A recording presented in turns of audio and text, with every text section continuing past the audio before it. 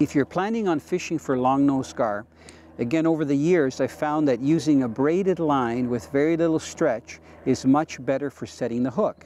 You can catch them using monofilament line, but there's so much stretch that a lot of times when they hit the bait, because they tend to grab it like chopsticks and hit the lure and thrash their head left or right, because that's usually how they pin bait fish, you almost get a little bit of a whiplash because the line stretches and then when the fish kicks back with his head, it shoots right out of their mouth. So I find that using a braided line and tying your lure directly to the line works much better.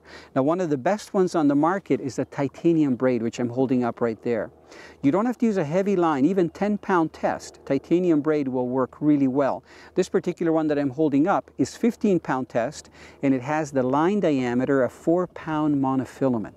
A braided line will perform much better when you're trying to catch long-nosed gar with artificial lures.